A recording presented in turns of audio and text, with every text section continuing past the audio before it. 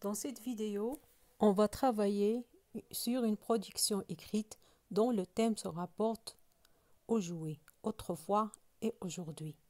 Ce thème est en rapport avec la boîte à merveilles puisque le narrateur Sidi Mohamed avait comme jouet une petite boîte quelconque qui contenait des objets hétéroclites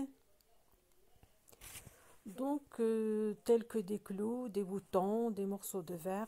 Mais ce qui était extraordinaire chez cet enfant, c'est qu'il euh, était capable de transformer grâce à son imagination ces objets insignifiants en un monde féerique.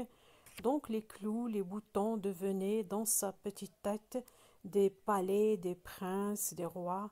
Donc la question que euh, nous nous, nous nous poserons dans ce sujet, donc, est-ce que le jouet à notre époque permet à l'enfant d'enrichir son imagination ou au contraire, il l'abrutit d'images et bloque ainsi tout épanouissement chez l'enfant Donc, vous avez là une production écrite, toute rédigée, qui montre bien sûr euh, les étapes de, cette, de ce raisonnement.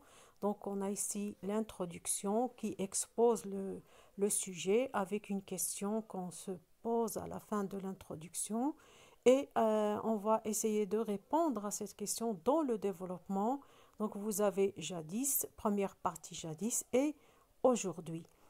Donc euh, après, quand nous allons, euh, quand nous aurons terminé de débattre, le c'est-à-dire les deux parties, on passe à la conclusion qu'on tire du développement. Donc, ce qui veut dire que l'introduction annonce le sujet et pose la question. Et euh, dans le, développement, on va répondre à la question, ou bien aux questions posées dans euh, dans l'introduction. La conclusion, on la tire du développement.